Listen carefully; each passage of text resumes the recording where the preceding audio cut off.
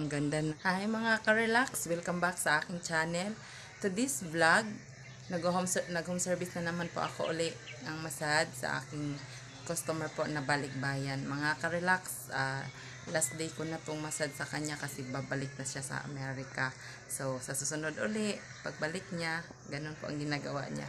Pag uwi niya dito, ah, tinatawag ako. Hanggat nandito siya, once a week akong pumupunta dito sa kanilang bahay. So mga ka-relax, itutur ko rin kayo sa kanilang paligid at garden. So mga kasamahan niyo po ako.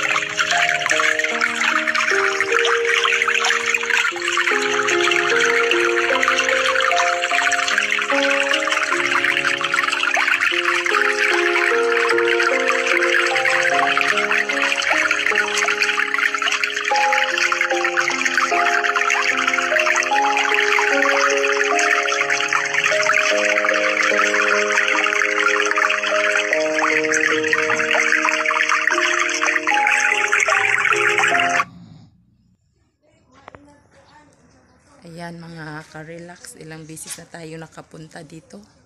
Ang ganda po ng mga bugimbilya nila mga ka-relax. Lalaki po ang nagtatanim niyan. Lalaki po dito ang mahilig ng ganyan. Binata po siya mga ka-relax. Ayan, ang ganda ng ano nila ka-relax. Oh. Gaganda ng paligid nila. O malapit na pong maani yung palay. Ayan, mga ka-relax. Super relaxing dito. Ayan.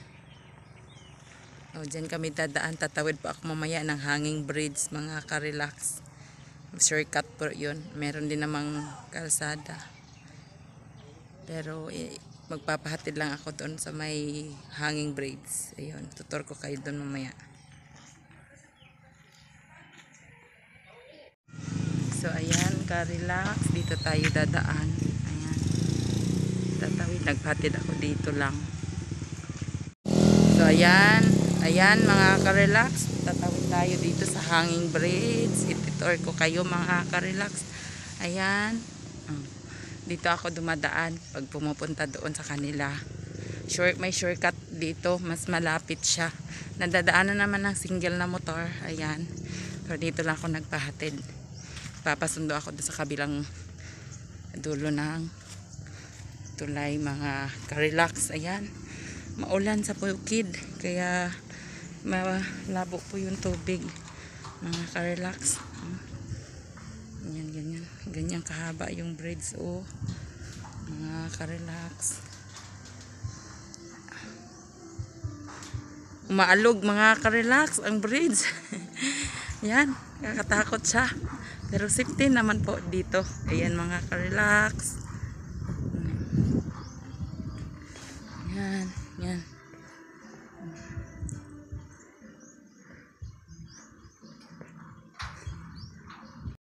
So, makarelax. Babalik na ng Amerika yung customer ko. Ayan. After a year na naman siya babalik. Pero ang sabi niya, this coming May, baka makabalik ulit siya mga karelax. So, pasalamat ako sa kanya kasi ah, pag umuwi talaga, hinahanap talaga ako mga karelax. Papamassage sa akin. Every week karelax. Ang bait nila, simple lang. Isa po siyang nurse America. California po yata yun sa kanila doon. Ayan, mga karelax. Ganda dito. Sarap ng hangin. Yan. Malapit na tayo ka-relax. Babalik na ako dun sa aming massage spa. Ah, ala alas 12 na ito ng tanghali mga ka-relax. Ang init. Ayan. Nilalakad ko lang. Diyan may motor na dadaan mga ka-relax. Sa tabi tayo.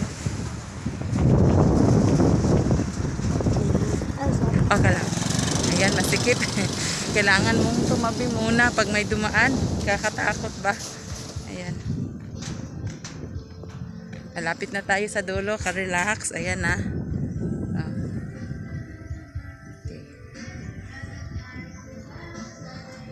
Hintayin ko yung sundo ko dito. Ka-relax. Ayan, oh.